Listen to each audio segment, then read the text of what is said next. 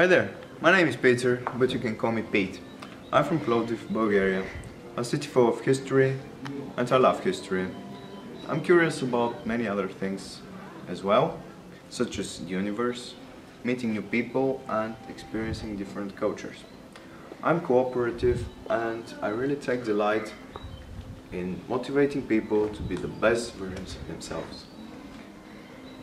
I know what it means to work hard in order to achieve your goals and I'm ambitious in every aspect of my life, such as my studies.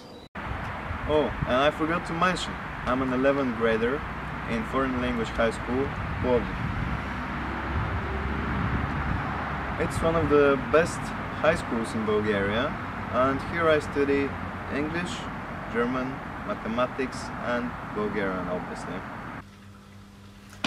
I also love spending my time in the library, reading books and studying.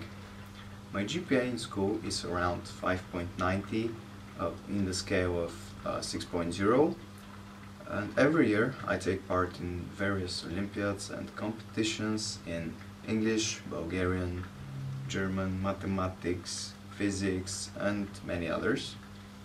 Uh, I always reach the second round in the national Olympiads. Uh, what is more, I've earned my certificate in German.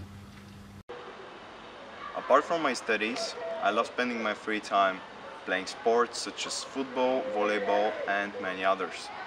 I've actually trained table tennis for seven years and when I was a kid I went swimming for several years. Uh, additionally, uh, during the summers I love taking part in sports camps where I practice my uh, art skills, do many activities uh, and we go hiking as a team. Well, that's me. Ambitious, brave and willing to take part in this adventure.